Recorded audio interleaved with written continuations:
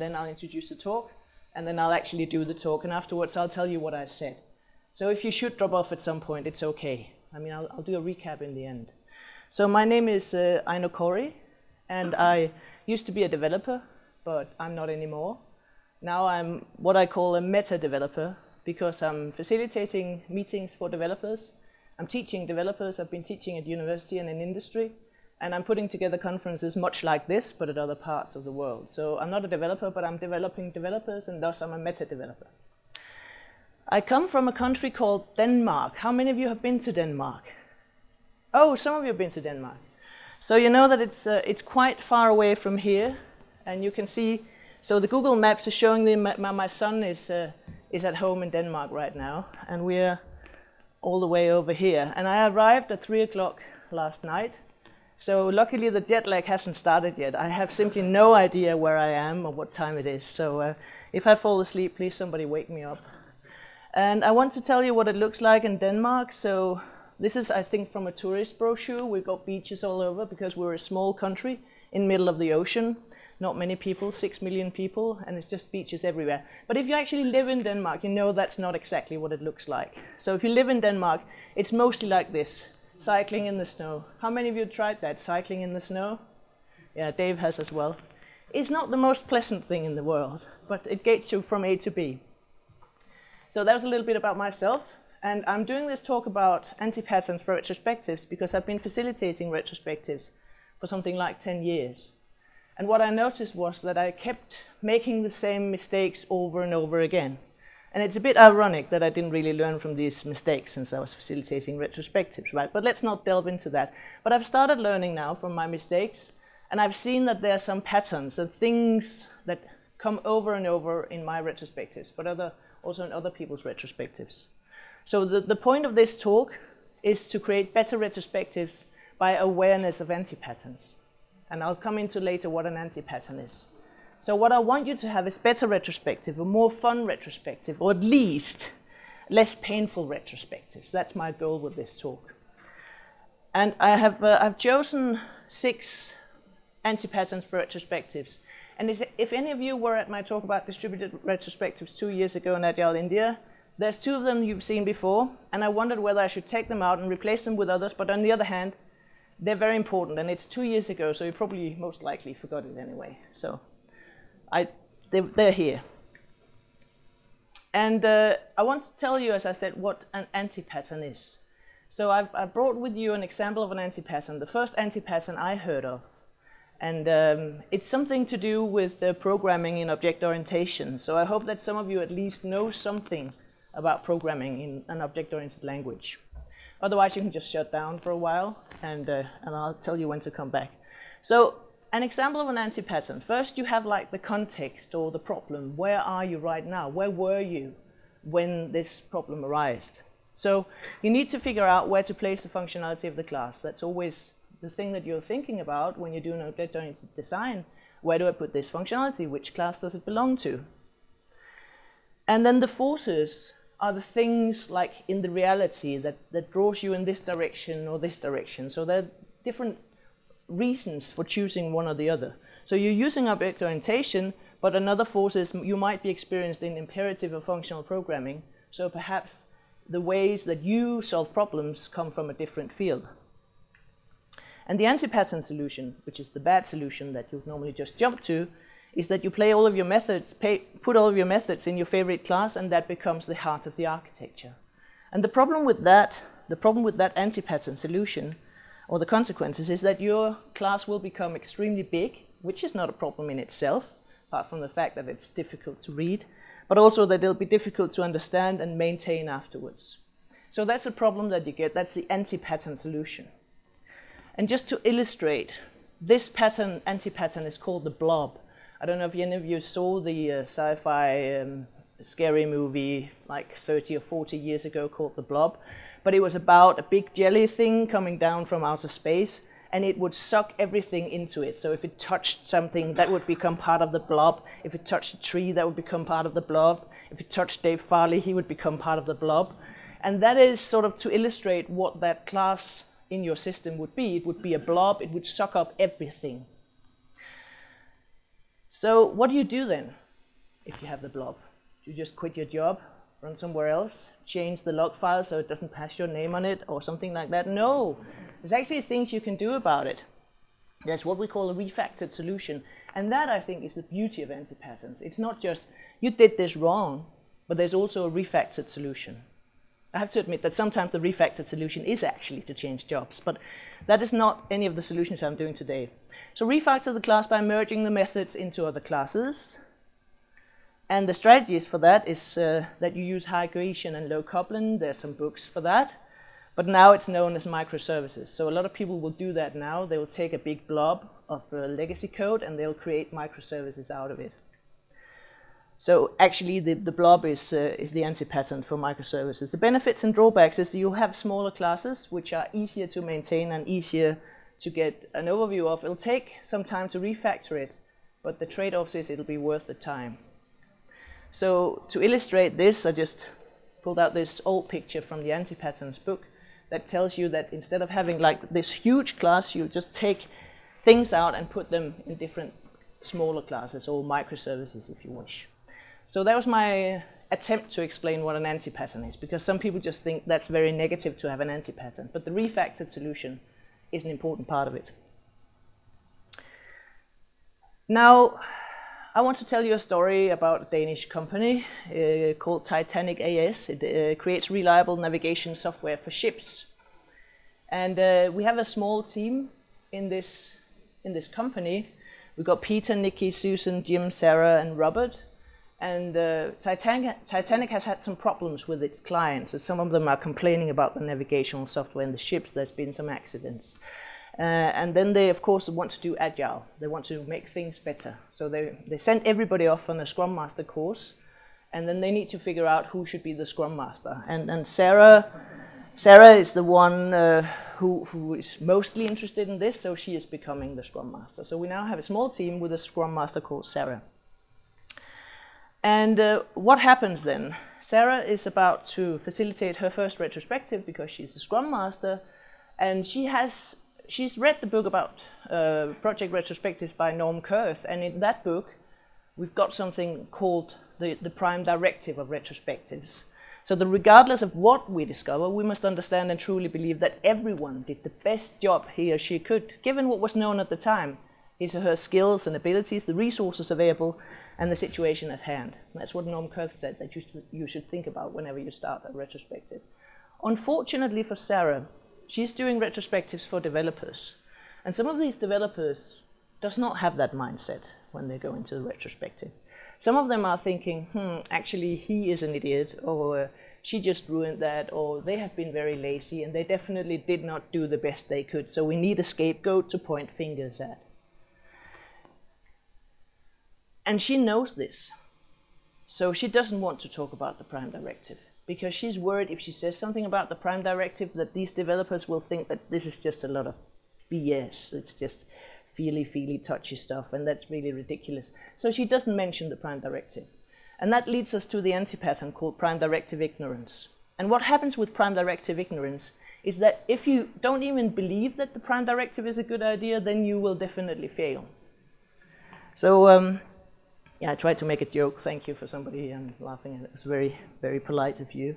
So the, the point of this uh, prime directive ignorant anti-pattern is that the, the problem is that it feels awkward to follow the directive. It feels awkward sometimes even for the facilitator to say that people should follow the directive because he or she knows that people will not think that everybody did their best. And then what happens in, in this anti-pattern is that you just forget about it. You don't mention it. You don't say anything about it. You just start the retrospective like you always do. But the consequences are that people will bring all their assumptions and negative expectations to the retrospective. They will not have the right mindset. Necessarily, some of them do, of course, but not everybody does. And there's no focus on having the right mindset. Because they're so eager to find failures, they're so eager to find mistakes, they're so eager to find scapegoats. And the anecdotal evidence is that people do not really listen and in the end people will become afraid to go to the retrospectives or to say anything that's important at the retrospectives. And then the refactored solution, of course, obviously, is to bring the directive to each retrospective in some way. And I'm not necessarily saying that you should put this on the wall. But for instance, in the email, you could remind people about it when you invite them, or you could say it at the beginning of the retrospective. Remember that we're not trying to find scapegoats. Remember that we have this mindset that we expect that everybody did the best they could. Because if you look at what people actually did and the mistakes that happened, it's not it's often not because the people are evil. It's because they had problems. There was something they didn't know.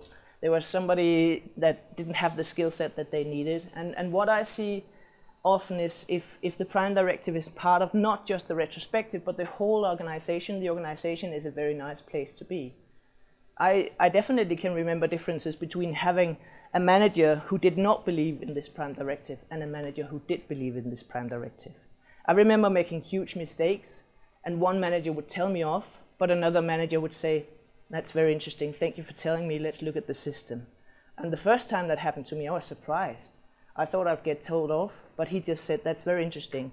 Let's figure out what information you had at the, at the time. Let's figure out what skills you had, how we can do things differently. So, creating a learning experience out of failure. And now I want you to try something think about this for 20 seconds, the prime directive and whether it is a problem where you are in your retrospective. Just think about it on your own for 20 seconds.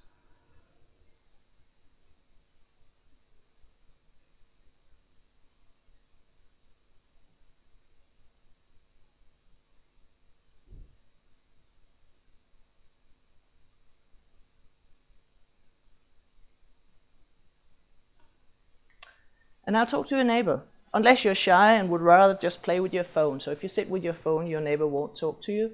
But please just spend a minute talking to your neighbor or neighbors about this, whether it's a problem for you in your organization.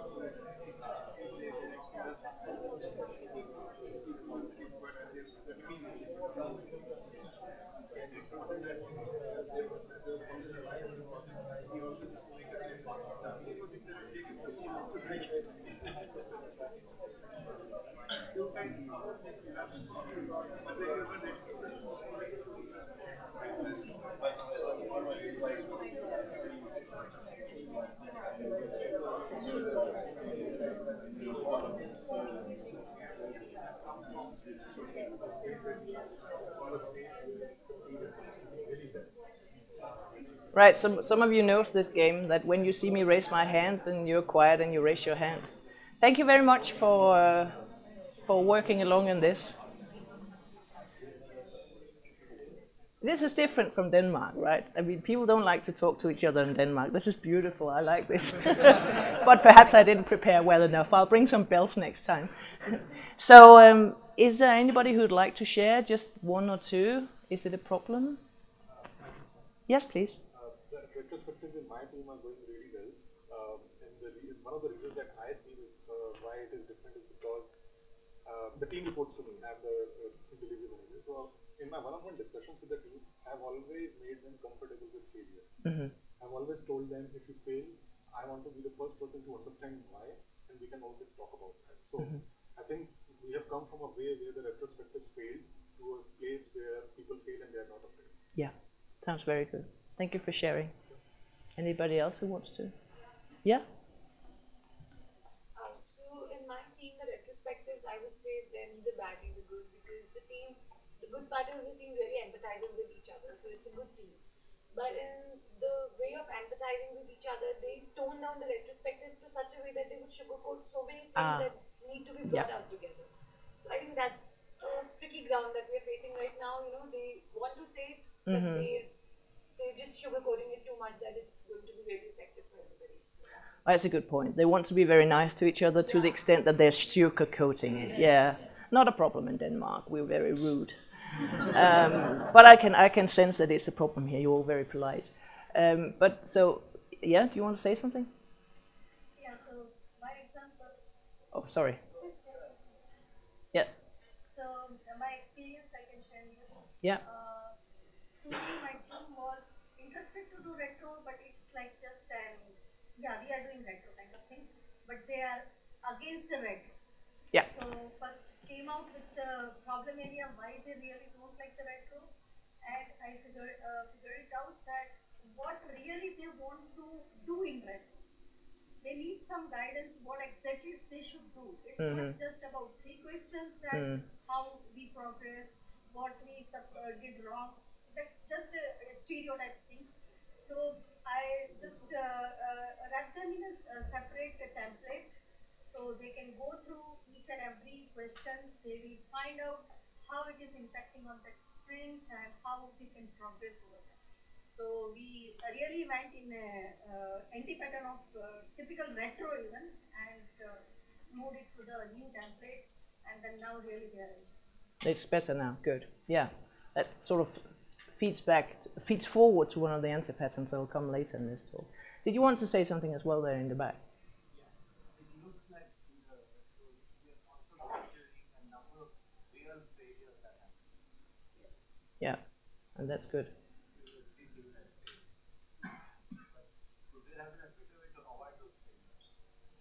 Sorry? To uh, to avoid the failures. Yeah, well, I think the only way to avoid failures is is to learn from what's happening and then change things the next time. Depends a lot on the failure, of course. I think one problem that I see is often that the communication is is not that easy. It could be because of the sugar coating. They don't want to point out things that are problems, but it could also be that they, they perhaps they've seen some retrospectives that doesn't work, and then they say, well, who cares? Why, why do we why do we want to talk about things that's important to us if it's just the same over and over again? And I'll be coming back to those issues during the talk. Yeah. uh, since we spoke about usually when the team is collocated, it's uh, you can try different ways. You can uh, the team mingles with each other. They see each other on a day-to-day basis.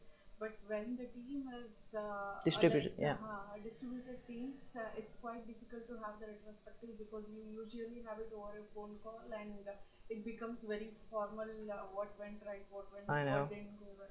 So probably if there is a portion where you could cover the distributed. Well, that's a whole different talk. I think actually you can find my talk about distributed retrospective from two years ago online, and I have a blog post about it. We might have time later, but I'll be here for three days, so yeah. I find that very interesting, and I agree it is it is problematic. Yeah. Right. Um, so what you just did was an example of something called think, pair, share that I use a lot in my teaching, but I also use it at retrospectives. You probably notice sometimes if people ask a question to a lot of people, it'll only be the extroverts and the active thinkers who will be answering because they want, well, some of them think very fast, some of them just don't bother to think before they answer. You probably know the, the situation. And then we have the people who are more reflective or introvert, and, and you never hear their voices. So think, pair, shares just a pattern that I use in retrospectives or talks or or teaching where people have time to think on their own, to reflect and talk to somebody in a way that it's it's fairly safe because it's only two, and then people can choose to share if they want to. So that was just an extra thing. So after four weeks, Sarah is doing the next retrospective, and she took the Scrum Master course, as I said. And uh, I think, according to your comment down there, she learned a way to do it. And the learn the way to do it was, what should we start doing? What should we stop doing? What should we do more of, less of, etc. And to me, that is actually, or it can be, an anti-pattern that I call the, the Wheel of Fortune. And the reason why I call it the Wheel of Fortune is that if, if you're just saying, what should we start doing, what should we stop doing, what should we do more of or less of, sometimes what you're looking at is actually just symptoms of the actual problems. So for instance, it could be we, sh- we should do more pair programming or something like that. And, and then that's, uh, well, that's the post-it note that put up in the start and everybody dot votes and that is the one that we'll have, so that'll be our action point, that'll be more pair programming. But if you didn't take the time to actually think about is this actually a problem that we don't have enough, or is it a symptom of another problem? It could be just that they don't have time to do pair programming, and then it's a problem, and then that solution is great. But it could also be that people are very introvert, that they haven't found a way to do pair programming in a way that helped them or made them feel safe, and then just ordering them to do more pair programming will not solve the problem. because the problem is different and this is just a symptom. And you could probably think about other things that are actually just symptoms of problems. And that's why I call it the wheel of fortune, because it's like just rolling this wheel of fortune. And sometimes you're correct, this thing that you need to start, start doing is actually the thing that you want to change. But sometimes there's a story behind, and you need to go into that story. So let's look at the anti-pattern for the Wheel of Fortune. Well, the problem, as I said, is we're all very busy, and retrospectives take time from coding. So let's do the 45-minute retrospective that you can learn about in, in some old Scrum Master book or some other books. Let, let's just do it as fast as we can. If every just put up these post-it notes, we know exactly what to do more of or less of.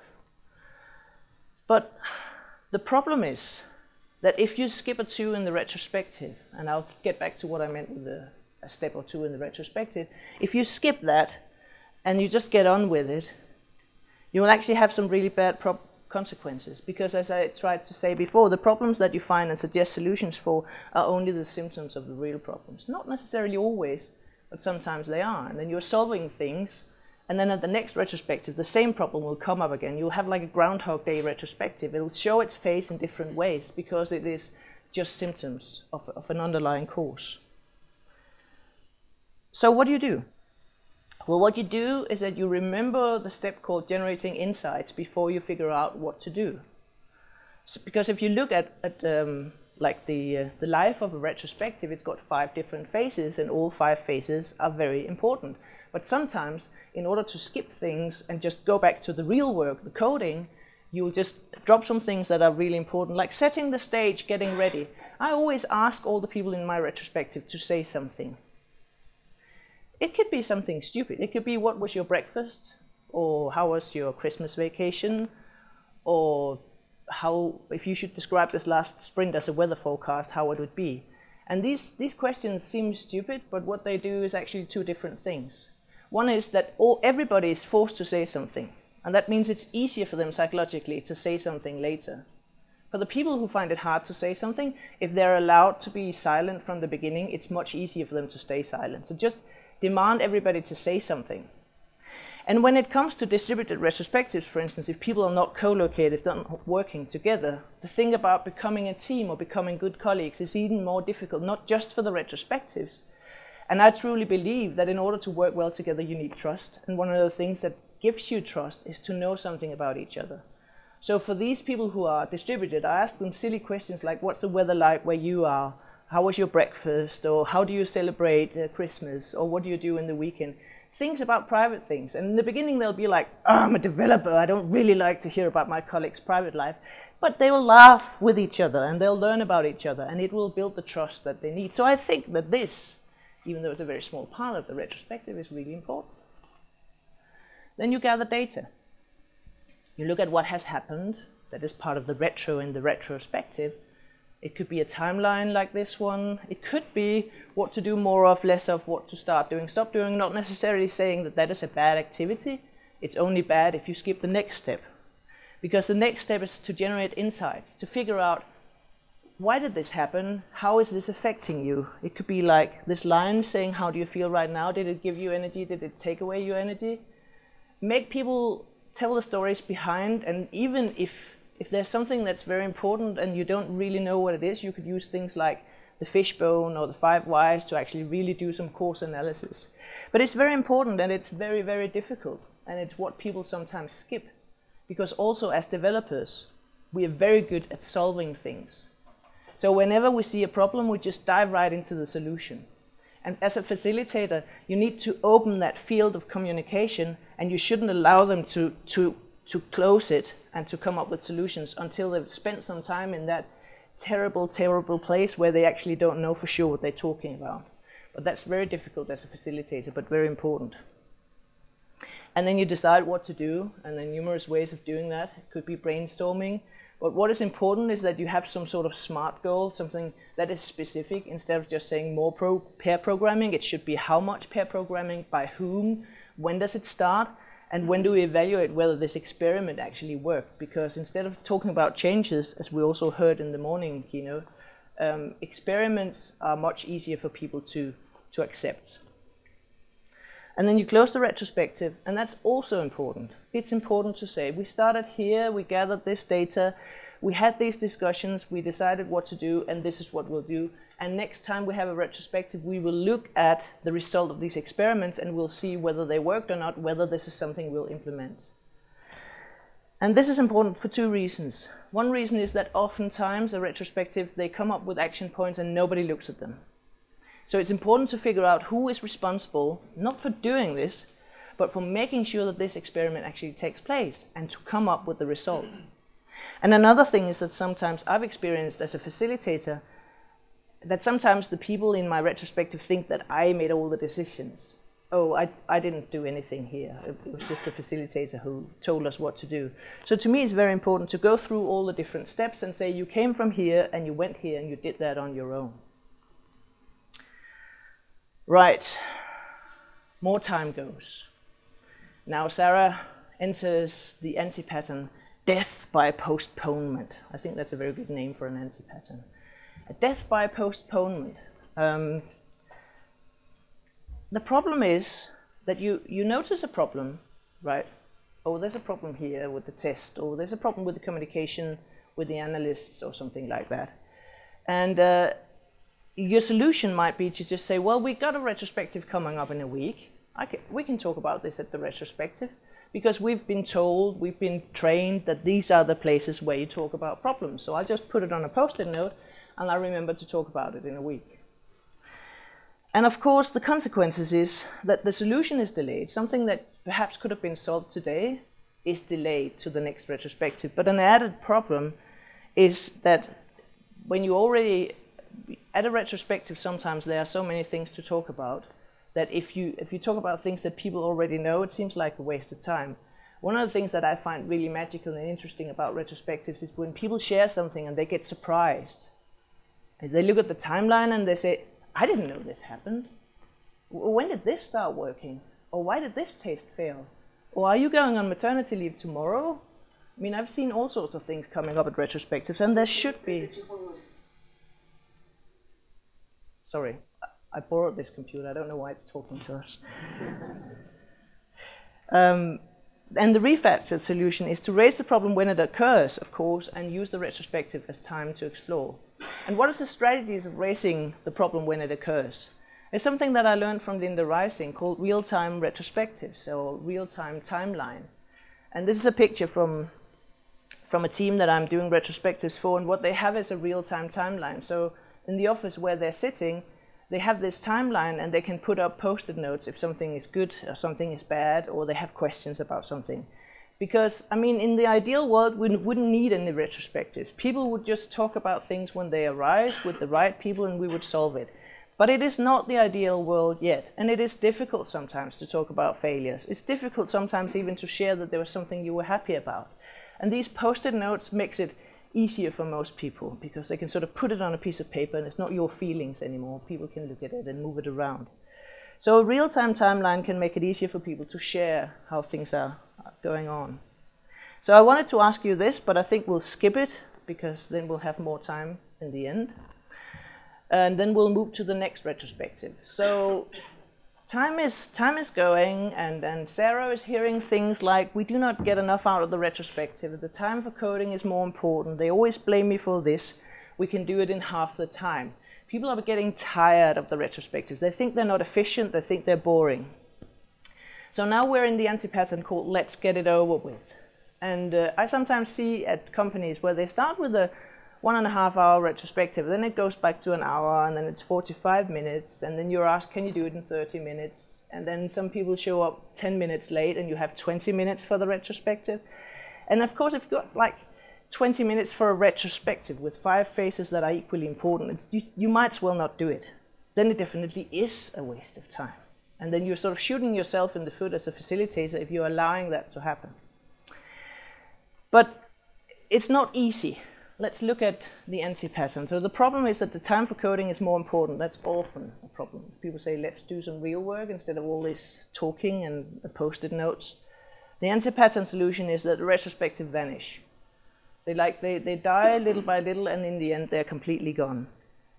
The consequences is that the time is saved, but more time is wasted on not learning, not having continuous improvement. And the refactored solution is to restart them, get new activities, get an outside facilitator, try something new. But actually, what I've learned works the best is to ask questions. Why do we have these retrospectives? What do you expect to get out of them? I'm sometimes at companies where the, the retrospective fatigue sets in and they say, we're not getting anything out of it. And then I'm looking in my little black book. I've got a little black book where I write down everything about retrospectives. I write down the action points. I write down what happened with the action points. I write down what people said, what they discussed. And then I make a retrospective about the retrospectives. And I put down all the action points or the experiments that I wanted. And then I ask them to look at how many of them did you actually do? And what was the consequence of doing it? Oh yeah, we actually did change that. Yeah, we did. Yeah, we did. We did change that, but we thought we just did that. Yeah, but that was part of the retrospective. And then there are some things that that they didn't do yet, like they didn't have time for it, or it was something that was put down as an experiment, but it was actually a long-term goal. And then a long-term goal written down as an experiment, you can't really expect that to happen in the two weeks. And then you have to look at that. So I do a retrospective over the retrospective, that's one way, to make them see that actually something came out of them, to, to make them understand that they are valuable to them. Instead of just forcing people to do retrospectives, I think asking questions is better and making them look at, at the data. And what happens now? the weeks pass. The boss will never allow it. We always discuss the testing framework. Why can't the retrospectives help us? We never get anything changed. Again, some sort of retrospective fatigue, but in a, in a different way this time. They still like the retrospectives, but they're not solving the right problems, and it's the same problems coming up and up again. And that's the uh, anti-pattern that I call in the soup. And the problem with being in the soup is that you hear people saying, well, we work on all, we want to work on the big problems, not just the small problems about the coffee or how long the stand-up meeting should be. But also you hear people saying, we always discuss the same. It's like a groundhog day, so the symptom is the same as for the earlier pattern. And the anti-pattern solution is that the actions need management approval action, and then we can't do anything about it. We're just like, mm, meh, well, what, why bother with retrospectives? All our problems are out of our hands. And the consequences, of course, is that if management has different priorities, nothing happens and retrospectives degenerate into complaint sessions. And sometimes letting out air is good, and that's a good way of using a retrospective, but there should also be some actions that changes things. Otherwise, it will feel like a waste of time. So what do you do? Well, the refactor solution is stay out of the soup and come up with things that you can actually do something about. Yeah? Sorry? Oh, sorry. A, cultural reference misrepresented. Sorry. Groundhog Day is, is an old American movie where a man wakes up each day to the same life because he's got some things he needs to learn. And he keeps on making the same mistakes, and everything happens the same way, but gradually he's learning. Thank you for your question. Sorry. I should have thought about that. I thought everybody had seen Groundhog Day. Well, you, you should see it then. It's, it's a great movie. Um, so, so the refactored solution to this problem, and this is actually an activity I use again and again and again, and you probably know this in different, in different states. Change, adapt, accept. So I draw three circles on a board. I say this is the circle of the things that you could do something about. This is the circle of the things that you can influence. And then out here we have the soup that you cannot do anything about apart from accepting its existence. And I, I use this activity both when they're just talking about the problems or the things that happened, just trying to make them think about where do these problems belong, but also actually later on in a retrospective, if they brainstormed about things to do, like experiments or activities, I force them to put it into the soup. Because sometimes if you come up with three activities that this team cannot do anything about, then when you ask them at the next retrospective what happened, they have to say nothing happened because they couldn't do anything. And then it's frustrating and it's a waste of time. So let's look at, at an example. So let's say that we, we made a timeline and then we took all the post-it notes, or the important ones from the, from the timeline and put it into this diagram because I noticed that there are some things that always come up.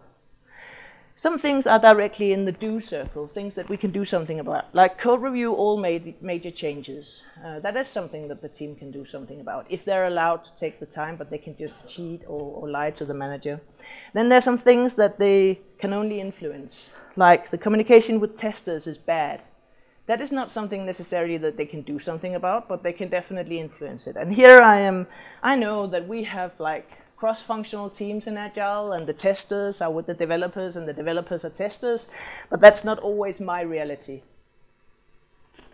And then there's this one in the soup, change the location of the company. And of course, I mean, phew, how can you how can you change the location of the company? And if this was something that they wanted to spend an hour discussing, then it would be a waste of time.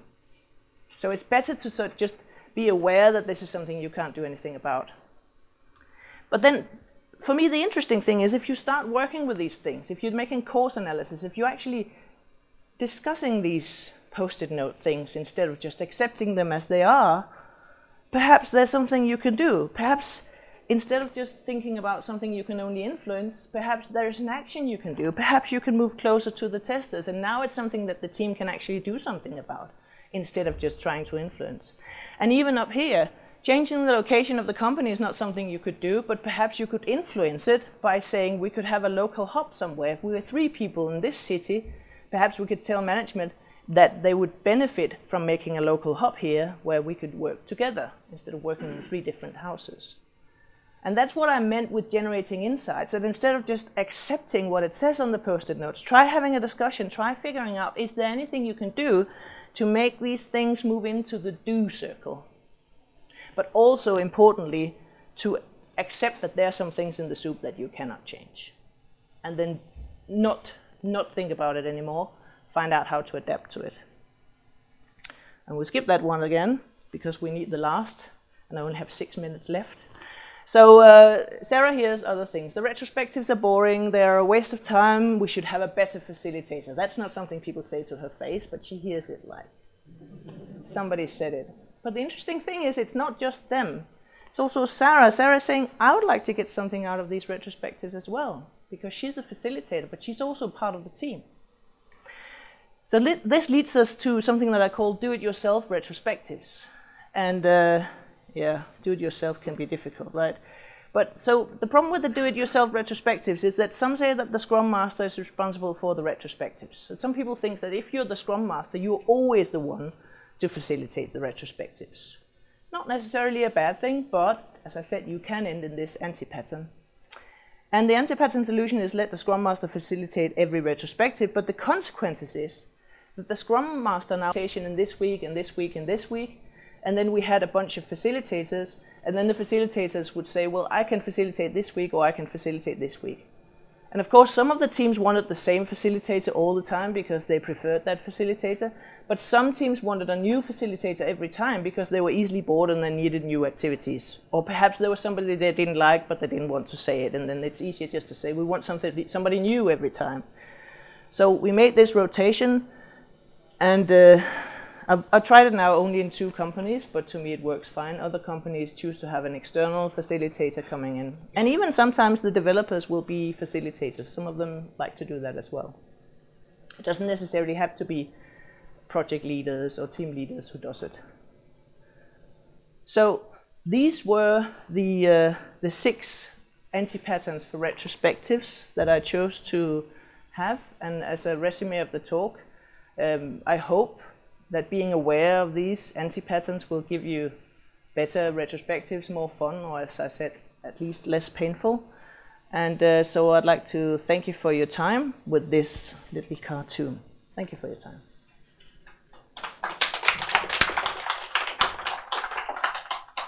Luckily, we have like one more minute. And you talked about distributed retrospectives. Is there anything in particular you wanted to know about? Or is it just generic? Yeah. Well, so I'll just, I'll just, I'll just talk and talk for three and a half minutes about distributed retrospectives. So the problem with distributed retrospectives is that you cannot see the body language of people.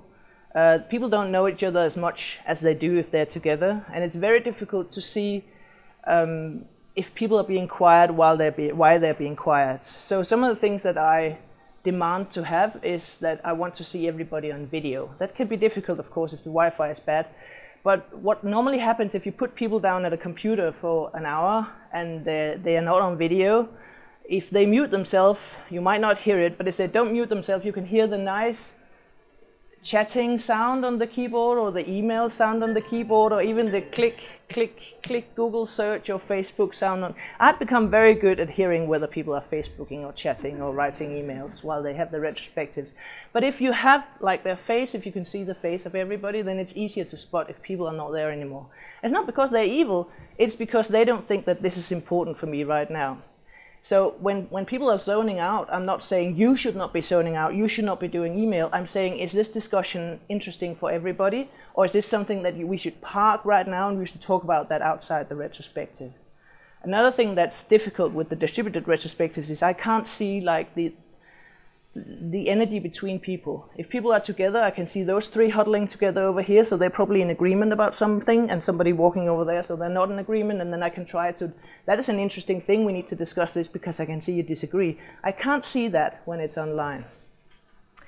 Uh, so there's a different things that are difficult, but the with the video works, and then I normally have a shared document where they're anonymous, like a Google Doc, where everybody can write, but nobody knows who's writing. It can be fun but it also helps with the sugar coating that was mentioned in the beginning, because I've done some retrospectives with some people in cultures that are less uh, polite than the Danish, and the problem is definitely the sugar coating. And what I've noticed is if you can be really anonymous when they put up things in the timeline, then people are more eager to try putting things that are painful up there. And I, I still don't want them to blame other people, but to point out things that are not good. So, yeah. Any anything else? Yes. I have a question with Oh. to uh, real-time uh, retrospective. Yes. So uh, we initiated this activity, uh, maybe re-initiated it a couple of times as well. Mm-hmm. So it starts up with a bang. People come up with a lot of input, especially if the times are tough. You know, a couple of iterations, we have had some discussions, arguments. Uh, it starts off well enough. Sustaining that becomes a real task because the boards keep drying up and the post-its themselves don't come up. We also tried an anonymous, you know, the Google Sheet approach. Uh, even there, uh, so it, at times it seems like uh, a verbal uh, communication, people in front would be much beneficial.